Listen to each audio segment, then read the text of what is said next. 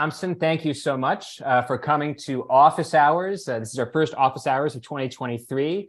Uh, this is a place where I talk to uh, readers and watchers and listeners and friends of the Atlantic about abundance and economics and um, the future of progress. And today I'm very, very excited to tell you that we have my friend, uh, the Bloomberg opinion columnist, Conor Sen, to answer all of your questions about and all of my questions about the 2023 economy. Before we get started, a quick thanks to our underwriter, Lexus, for supporting Atlantic's journalism today and many other days. Uh, let's jump right in. Conor, hello. Great to see you. Derek, nice to be with you. Thanks for having me. Absolutely. Um, let's start with today's GDP report. Um, it uh, came in pretty hot for an economy that is theoretically in a recession, according to some people on CNBC. Just give me your general impressions. What did you think of the GDP report? So to me, the exciting thing is we ended the 2022 with two straight quarters of economic growth around three percent, and then it also looks like in January things are starting out better than expected, even a few weeks ago. So we can take the momentum we had in the second half of last year, apply it in the beginning of this year, and to the extent people are worried about a recession, that concern should be pushed farther and farther into the future. Into the future one thing that people are saying, some of the naysayers are saying, well, you look at the components of GDP. You've got consumer spending, you've got government spending, you've got inventories, you've got exports and imports.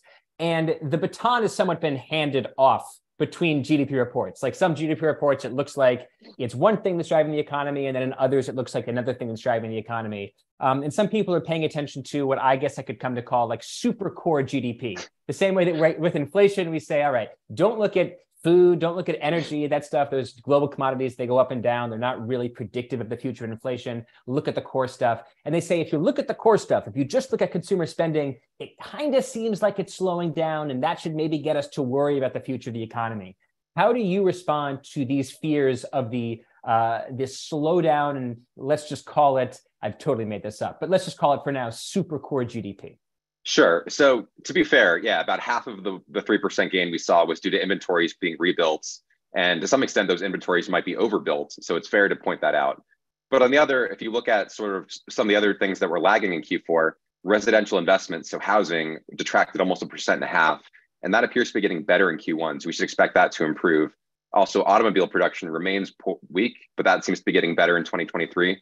So we should expect that to pick up as well. And then to the extent the financial conditions seem to be loosening as the stock market goes up a bit, we could maybe get some other boosts there. So I think there are some puts and takes, but you know, maybe Q4 is a little softer on the super core side, but that just means we should expect Q1 to be a bit better in that regard. Right. So I'm thinking about the best argument why we're going to have a recession in 2023 and the best argument why we won't have a recession in 2023. And why don't I throw both of these at you and then you can sort of play with them? I think mm-hmm. the best argument for why we're going to have a recession this year goes something like the following. Um, this is mostly a story about consumer spending. Consumer spending powered us through 2022, even though we had kind of a recession in housing and a slowdown in some other parts of the economy that were extremely rate sensitive.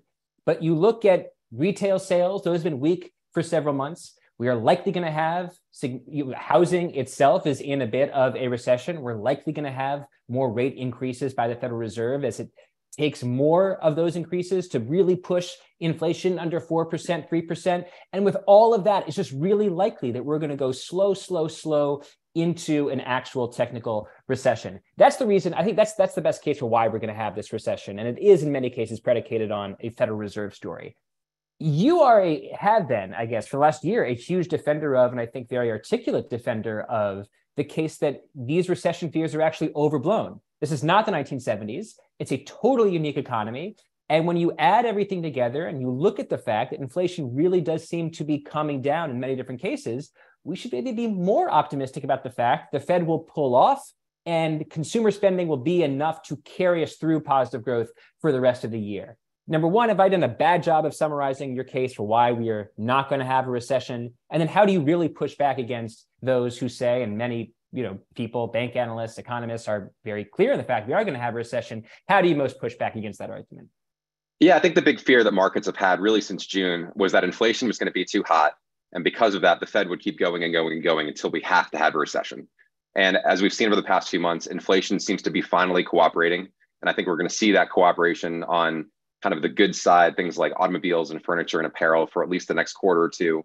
We also see on the shelter side that rents are now coming down, and that's going to flow into the inflation data later in the year. So I think the inflation reports the government's been so focused on that looked so bad for the past year and a half, those should look better for at least the next several quarters. And then the Fed, to your point, they're likely to raise rates at the next week's meeting and then one in March. Markets think that's going to be it. And I think the inflation data supports that for a while. And so, to the extent that market, what really matters is what markets have priced, not what the Fed is actually doing.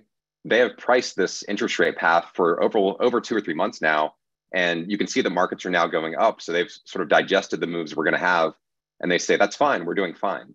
And in terms of the pushback to the recession calls, if you look at the real weakness last year, the things that were the weakest, you had sort of the retail sector in general, as people started shifting their spending to leisure and hospitality, things like dining and travel and that's really been a drag on growth for nine months or so. And that appears to finally be turning the corner just this month.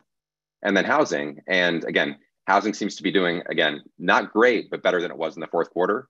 So that should be less of a drag. And then even to the extent that tech layoffs, which are getting so much publicity in terms of, you know, how can we be having tens of thousands of tech layoffs and not being in a recession or going into recession?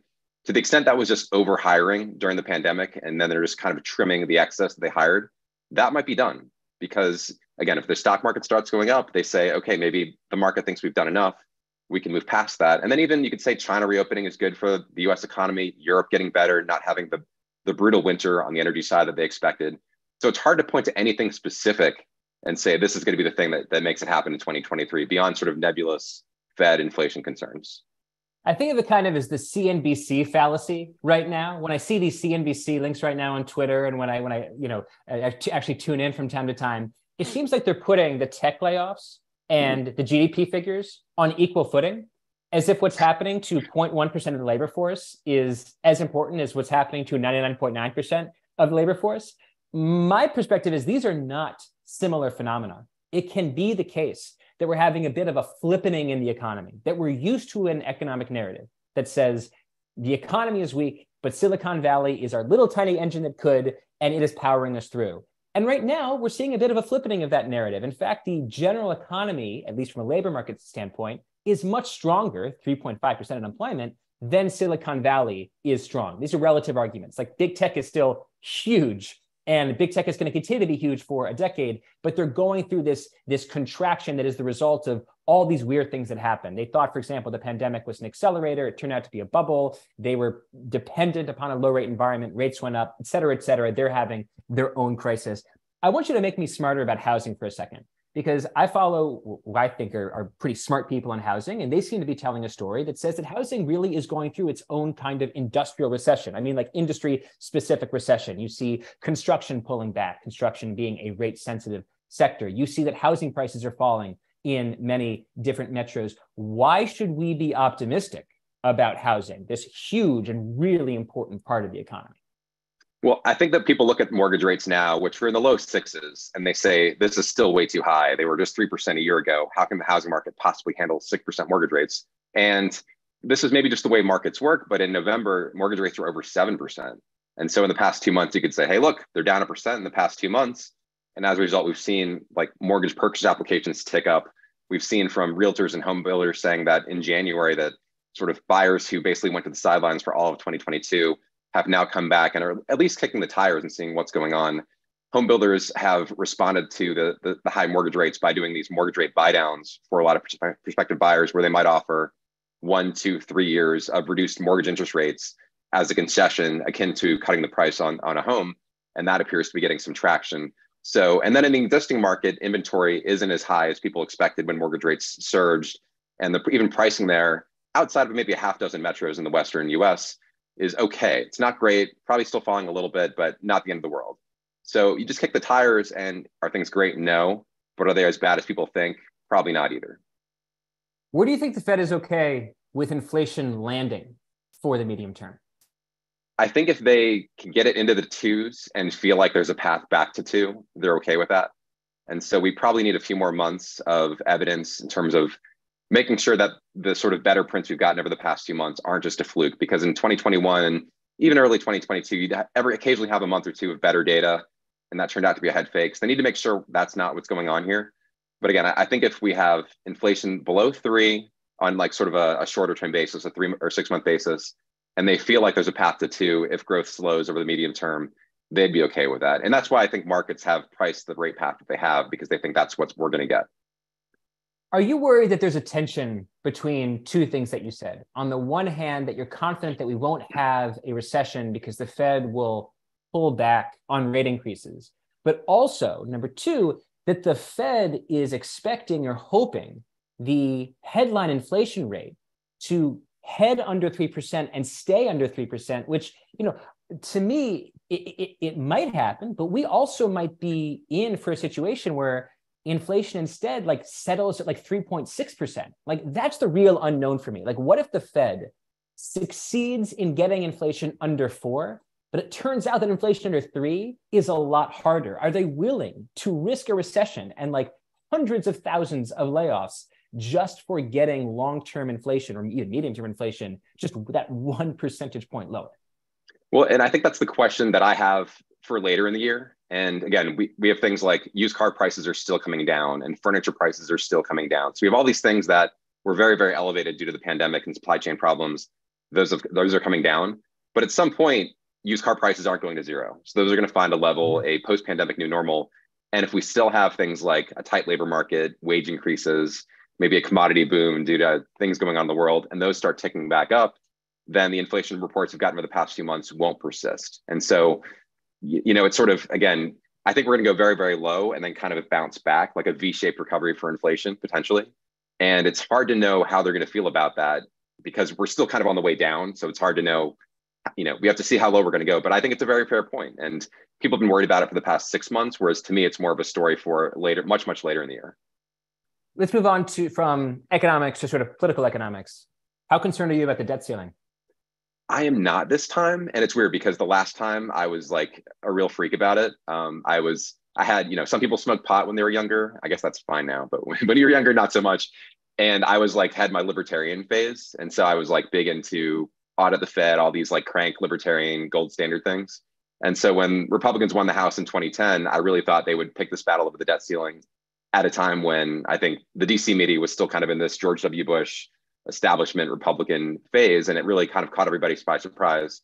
Whereas I think this time around, I mean, the fact that we're talking about this in January for a problem that really won't be an issue until at least June.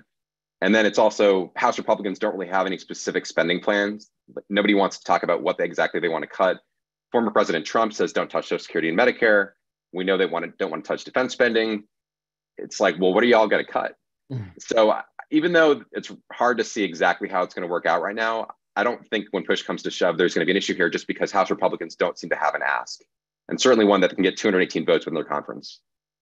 I am scheduling a possible freak out about this story in like two to three months. Fair. But I have, I think, like you, I have already freaked out about the debt ceiling so many times in the last. I've worked for the Atlantic for 14 years. I feel like, especially my first like seven years at the company, when I really was like a politics and macroeconomics writer, it was basically my job to have panic attacks about the debt ceiling right. and to like sublimate those panic attacks by writing essays for the Atlantic.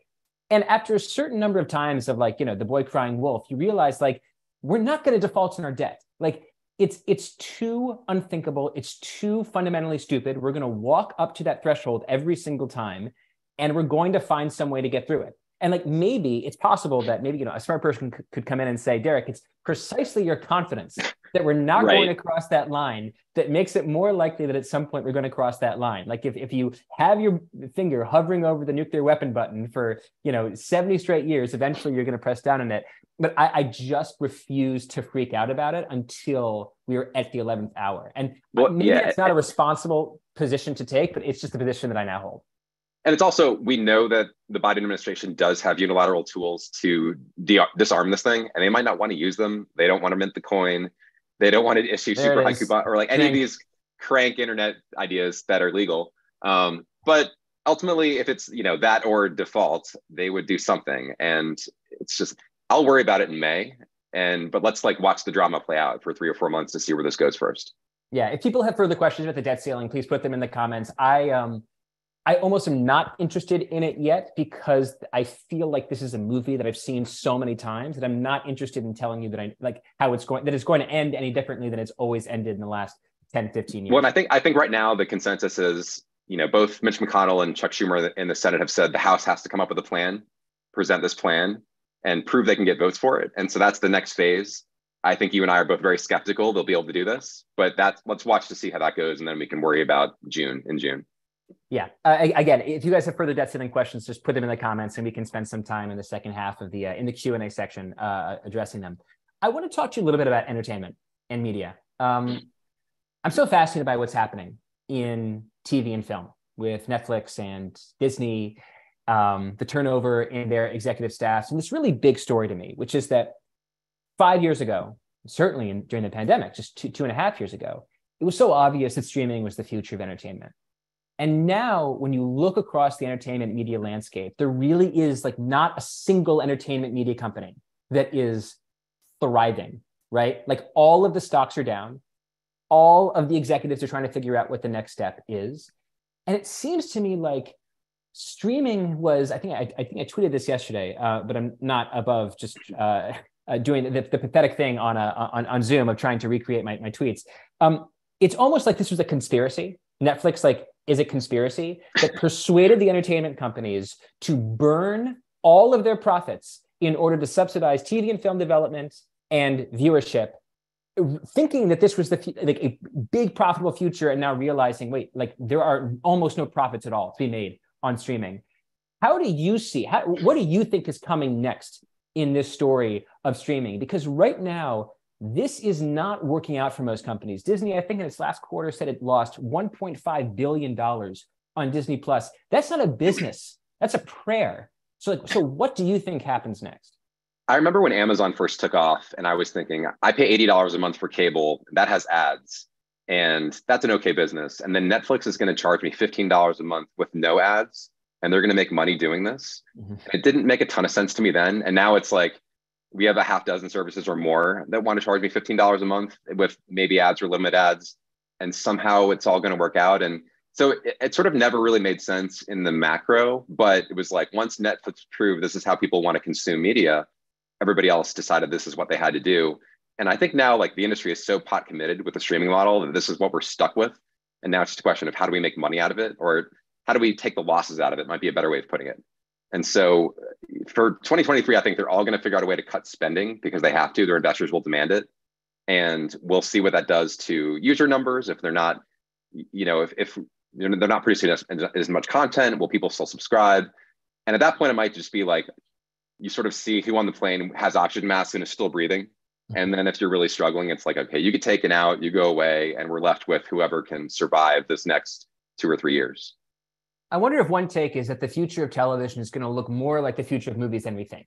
By which I mean this. Mm. So, you know, um, in the 1940s, Americans bought about 35 movie tickets a year. In the 2010s, they bought about four. Now they buy about, seems like two and a half. And one thing that the movie studios did is accidentally or purposefully train movie audiences en masse to basically reserve their tickets, hold their tickets until they see a new iteration of a franchise that they recognize, right? So that's why movie ticket returns in the US, domestic box offices are like more unequal than ever. Overall box office is down because people aren't going to see original films as much as they used to. But if you look at the returns for Avatar or Top Gun Maverick, these are all-time hits, not just in terms of their you know non-inflation adjusted box office, but also in terms of the number of tickets that people um, are are buying to see these films. And so it's like, okay, in movies, the general thing has been that as competition heats up, as there's more competition, the top performers recognize, unfortunately, that the the best bet for blockbusters is to deliver new iterations on familiar franchises. And I wonder if one thing that you're going to see with, for example, Netflix or Disney Plus, or you know even maybe Amazon Prime um, and HBO Max, is this recognition that okay, in the next act of the streaming story of the of the of the digital entertainment story, in the next act, we need to start harvesting franchises even more than we used to. And so the cost um, savings that you were talking to, the cost savings you were alluding to, are going to be manifest in the fact that we're going to get fewer original stuff on these streaming networks and more like Stranger Thing universes um, and you know Game of Thrones style universes and that the exact so fundamentally the same phenomenon that we're seeing or have seen in the last you know 20 years in movies is going to essentially be the uh, the future of TV. How do you generally feel about that take? Yeah, I think sort of money balling or data dulling, to use the term that we've been talking go. about, yeah. for entertainment might be the way. I, the the one that I'm kind of hopeful for, and it's just maybe because me as like a '90s kid wants my childhood back, is mm-hmm. Apple seems to really be leaning into like stars. It's like Reese Witherspoon on a show and she it's like the Reese Witherspoon universe rather than just like another Marvel thing. Or you know, here's Timothy Timothy uh, Chalamet on a you know an ad for them. So it's like here's a star you know, and here's a, an original script. Will you watch it? So I'm hopeful that has a chance too, because I just don't want to watch any more Marvel shows. I wonder whether you know there's this there's this sort of meme or maybe it's a motif in sort of entertainment essaying about how we've we passed the age of the movie stars the age mm. of movie stars is over, Tom Cruise accepted, and the future is franchises. And you know, I don't know that I entirely buy that model, but um, Matt Belloni, who um, is a writer with Puck News and has a podcast with The Ringer called The Town, which is excellent. He did an analysis, or, or Puck paid for an analysis of um, the approval rating for various streaming uh, networks. I don't know if you saw mm. this, but really interesting. So basically, they were like of people of, of the general population, what streaming network has the highest approval, and then of users of those networks, what streaming network has the highest approval. No surprise, Netflix finished one and one in both surveys, both of the general population and of users. And Netflix, their penetration is so high that it's not surprising to be the same. I was so surprised because I think that Apple does some really good shows, but the bottom of the list, like lower than like Peacock and all of those, huh. Paramount, was Apple, even among its own users. And so it, it just it makes me wonder whether Apple's hits, so to speak, are such elite phenomena that mm. they hmm. aren't actually that meaningful to the general entertainment industry as a signal of what to do going forward. Because fundamentally, the age the movie star, right, that, that, that, that was probably at its apogee in the 1940s or something, that age is just over. People don't buy tickets for stars, they buy tickets to stories and stories are IP, and IP is really expensive and hard to develop, and certainly harder than just like, "Are you free, The Rock? Are you free? You know, Kevin Hart? It's me, Netflix. right?" And so that just makes me wonder whether um, whether whether the star model is is not as as powerful um, as it used to be, and, and we still are, are stuck with the IP story model. Yeah, I mean, I I you might be right. And I find that pessimistic, but it's also, I'm over 40 now. So maybe it's sort of like they're not making content for me as much as people in their teens and 20s and 30s. And if Marvel and Disney content is what they want, then that's what we're going to get until people get tired of it and something else emerges. Yeah. Let's talk about a subject that I know you want to talk about, which is um, Georgia, uh, where you live. And sure. Georgia, especially as a hub for this new clean energy industrial policy that the Biden administration seems to be playing with and that the US economy seems to be participating in. Um, let, do, do like a 101, like for people that don't know that Georgia is the epicenter of this uh, EV and electric economy revolution. What's happening in Georgia and why does it matter? So you can sort of like the big sort of high highlights in terms of what we've gotten over the past few years is Rivian, which is the producer of electric trucks and SUVs and also commercial vans for companies like Amazon. They had a big high profile IPO last year. The stock's been very weak since, but they're sort of like the bougie Tesla competitor, I would say. And they decided to put their second plant, their big expansion in uh, Eastern, sort of East Atlanta. And that's going to be built over the next few years. And that was probably the first big win that got a lot of attention for, for us. Also, Hyundai is deciding to put an EV plant outside of Savannah and then we've won at least four or five different battery plants, solar plants, all multi, multi-billion dollars. And so sort of uh, by the numbers, I would say Georgia might be number one in terms of who's won the most uh, sort of plant investments over the past few years. And I think there are a few reasons for this. There's sort of an interesting confluence of we have the world's busiest airport in Hartsfield Jackson. The Port of Savannah has gotten a lot of investment over the past decade or so, hmm. and that's sort of increased capacity there. You've always had the story of port to rail to Atlanta to distribution hubs as a story. And so plugging in EV plants is really useful for that. And then we also just have like the the typical Southern things of cheap land, cheap labor, low taxes, uh, you know, incentives from the state. And you put all, and then also we've got politicians both at the U.S. Senate level and the gubernatorial level who really fought for these projects. Both uh, Senators Ossoff and Warnock and Governor Kemp have all really wanted this to be a win for the state and also for their own political careers. And that's kind of an interesting political potentially tension down the road in terms of who deserves credit for all of these. What would it look like if Georgia served as an economic model for other states? What kind of economy would we get if other states looked at Georgia, got super jealous, and said, We want exactly what's happening there? Right. So you really need some sort of physical infrastructure to start. You can't just put all this in Wyoming. You really do need some combination of airport, rail, ports, highway, land. So you kind of need like three or four of these ingredients to start. Kind of in the same way that maybe 10 years ago, if you wanted to have a tech, you know, office, you needed lots of college grads, a walkable downtown. There was a certain mix of amenities you needed to have to win these these jobs. It's, it's the same thing here.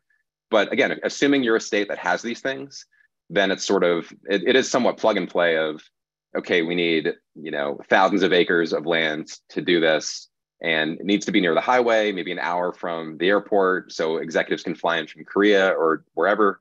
Um, you need workers and housing, so the housing stories become a big focus of the governor to make sure that these companies that are investing billions of dollars to bring plants here can get workers. And you know, it's sort of once you get these plants and you sort of see what you need, you can kind of get the flywheel turning. Yeah. One story that I become really interested in sort of, I think of it as maybe like a next chapter after my abundance agenda article of last year is that you, I think like, okay, we want abundance of you know EVs. We want abundance of mm-hmm. whatever solar panels and wind turbines and maybe you know drills for geothermal. Okay, that's cool. But all those things are outcomes. All those things right. are outcomes. What's the input? And how do you create abundance of those inputs, right? Abundance of like the kind of like raw materials you might need, whether it's like, you know, copper or lithium to make the clean energy economy possible. Have you done any thinking on what it would take either at the state level or the federal level for us to get a little bit smarter about that particular policy. And I would just maybe to to to stimulate you a bit, like I'm very interested, for for example, in the Biden administration's approach to oil and the strategic the strategic petroleum reserve. Right when oil prices skyrocketed last summer, they said, you know what, finding making it a domestic priority to moderate the price of oil seems really, really important, not only to the general country and the economy, but also, let's be honest, to the fate of this administration and the Democratic majority in the Senate. So we're going to have a really purposeful strategy to release um, oil from the Strategic Petroleum Reserve, from the SPR, and also to try to find some way to moderate the price going forward by guaranteeing oil producers that we're going to buy their stuff even in the event of a crash in the oil price.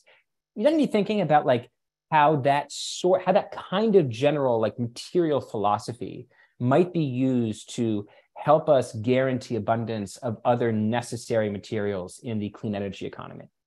Well, I think to your point, there's no reason why that oil structure wouldn't work for a whole variety of sort of mission critical commodities for this green economy. So copper, for instance, is has futures traded on the public markets just like oil does. It also has big booms and busts and price mm-hmm. swings.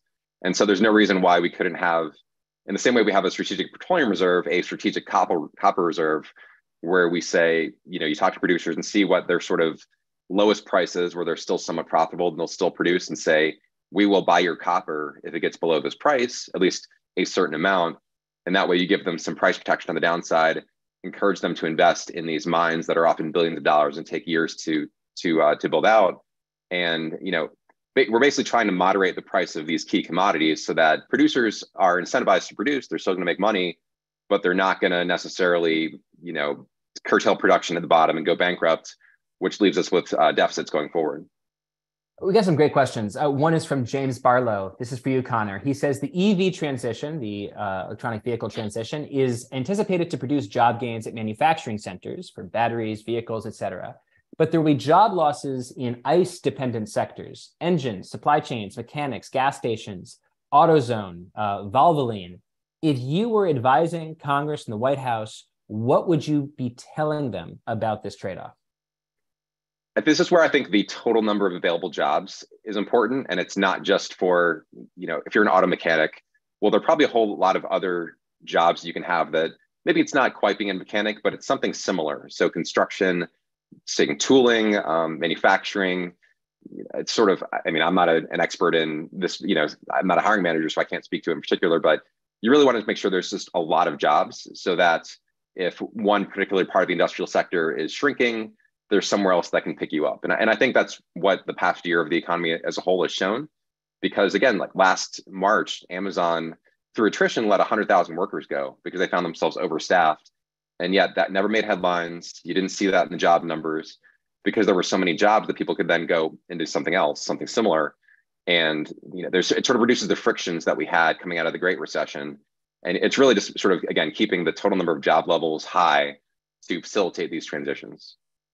Um, we have a question from Brendan O'Hare about the future of the labor force, which I think is a smart one. With the COVID induced tech bubble over, what do you think um, the sector's equilibrium looks like in a few years? Are we going to see large market indices dominated by Facebook, Apple, Amazon, Microsoft, or will they have less influence? So let me break that question into two. I think one question there is about um, the future of the labor force. Are there certain parts of the uh, labor force you think are going to drive hiring in the next few years?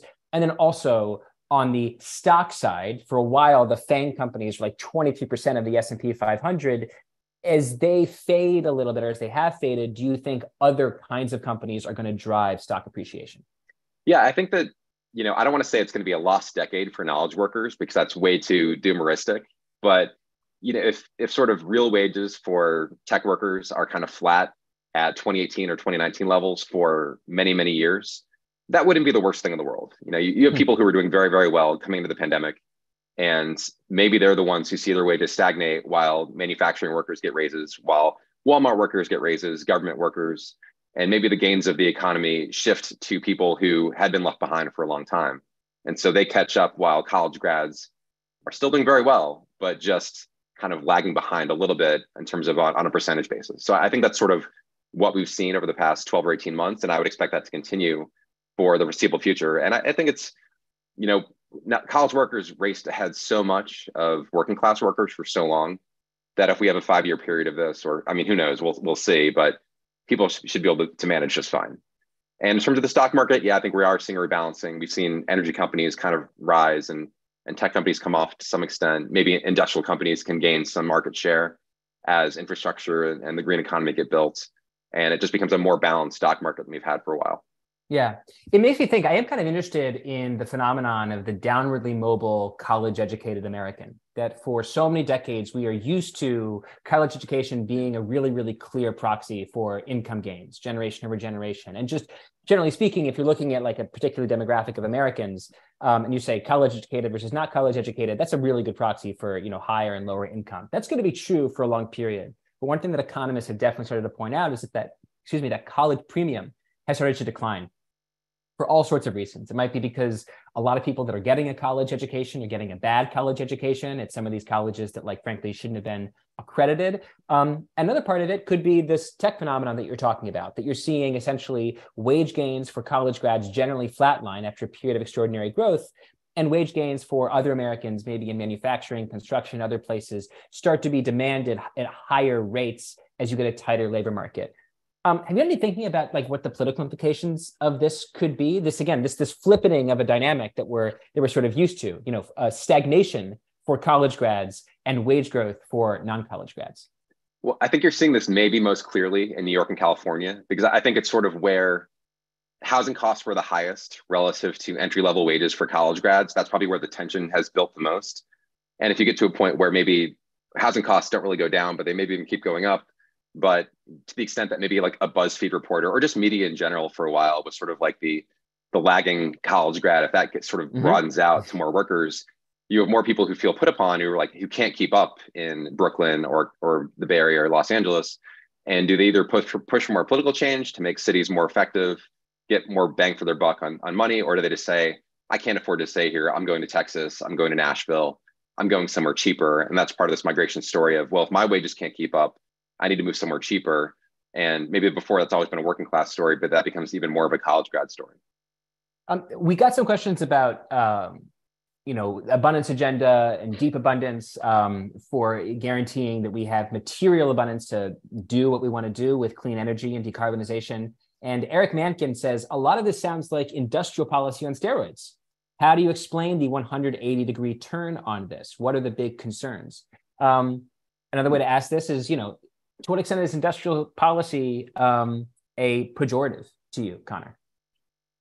I think it's not clear yet because we're relatively early in. In, in a way, like if we're going to use like the tech 20 year boom as an analogy, a very crude analogy, it's like maybe we're at the point of like the mid or late 2000s where Google and Apple are doing very well and Facebook is coming on the scene.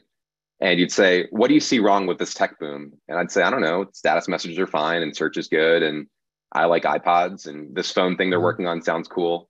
But it really only takes until you're much, much further along in the the boom to sort of see the excesses or problems. And maybe it could be that at some point we get to a point where we're building out solar capacity. But like you sort of look at China where they built out excess capacity for things they don't need or infrastructure broke down because they did too much as they had some poor projects and corruption. And I think we were starved of, of industrial policy for so long that there's probably a lot of low hanging fruit You've got the best people working on it for now. But to the extent that there are problems, they won't be apparent until much, much later on down the road. And it's hard to see them this early.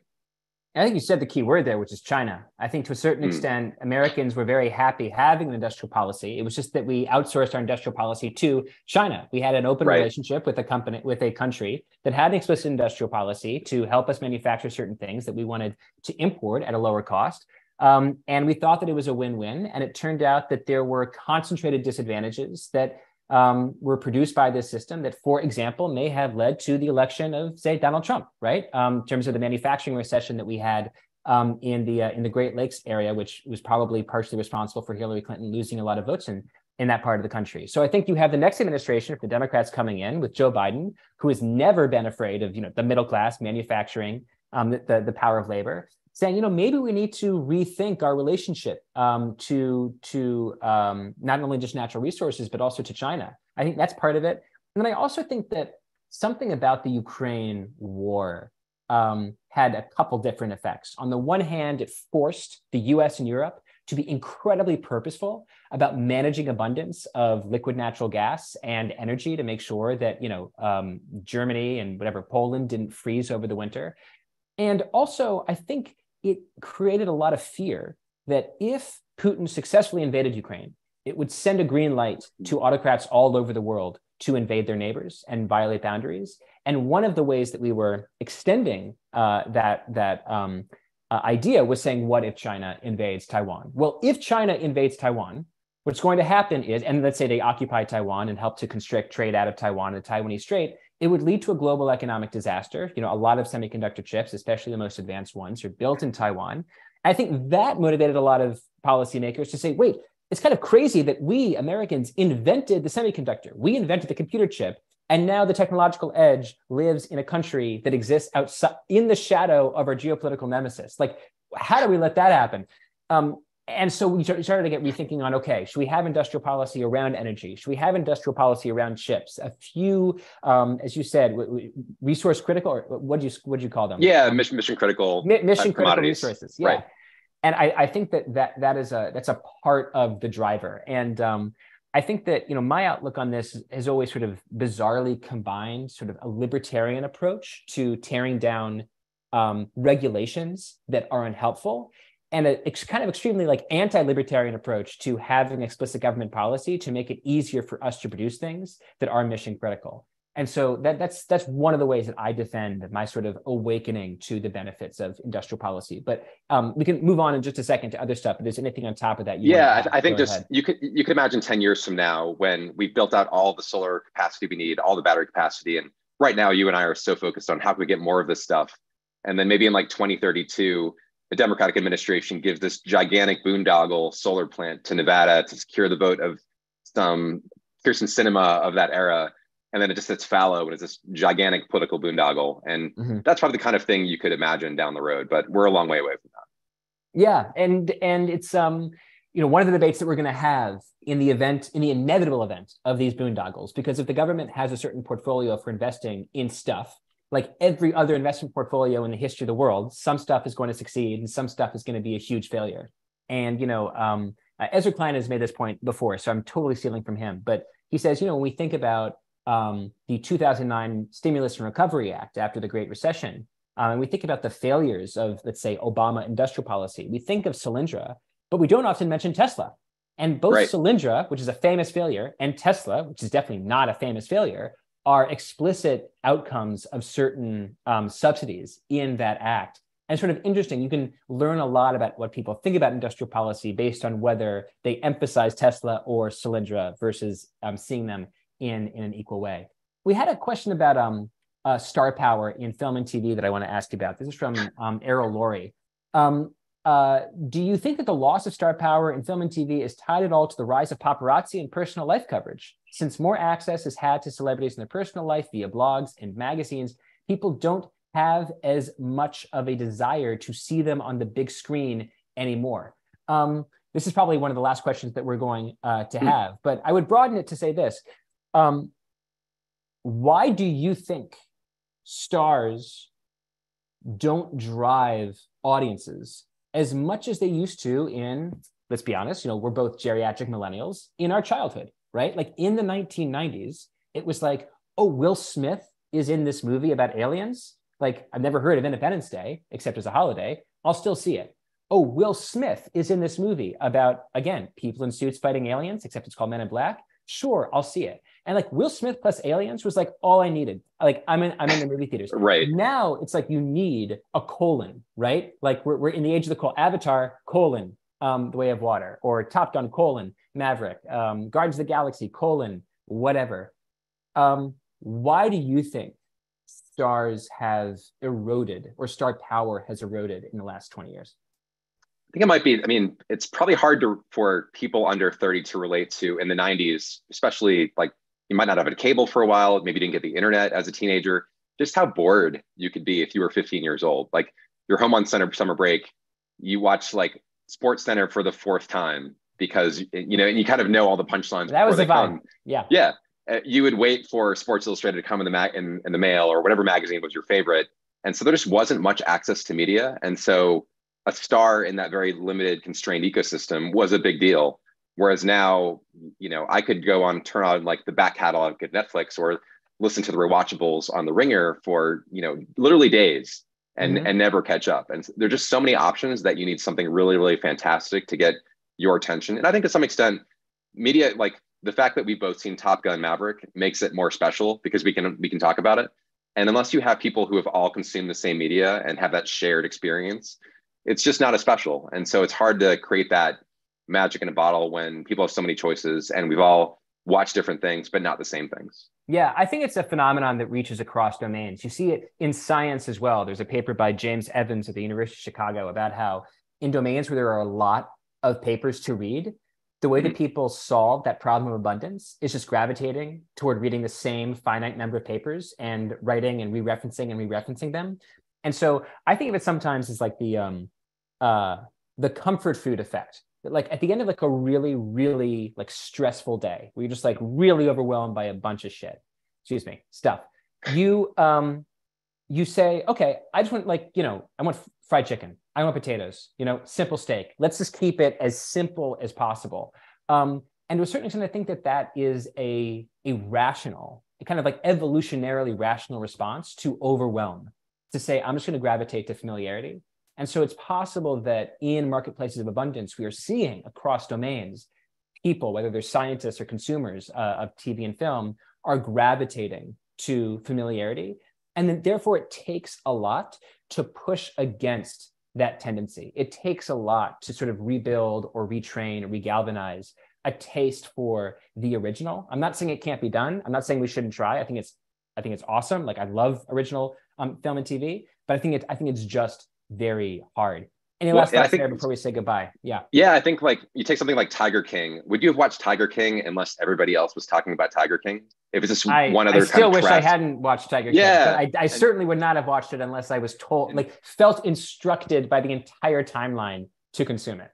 So you kind of do need that viral moment, and maybe stars were like virality in the '90s, and Will mm. Smith was just a permanent viral thing and they just don't have that kind of same virality today just because other other things do yeah i really appreciate mm. that. I, I, think it's a really really good point. Um, conor sen from bloomberg opinion thank you so much. Thank you all very very very much for um, being here with us. Um, that's all the time we have today. We are going to do another office hours on february 6th we're going to be talking about generative AI, ChatGPT, DALL-E 2, Midjourney, Stable Diffusion with Atlantic Deputy Editor Ross Andersen. Uh, you can read more from me at theatlantic.com and in our new print issue.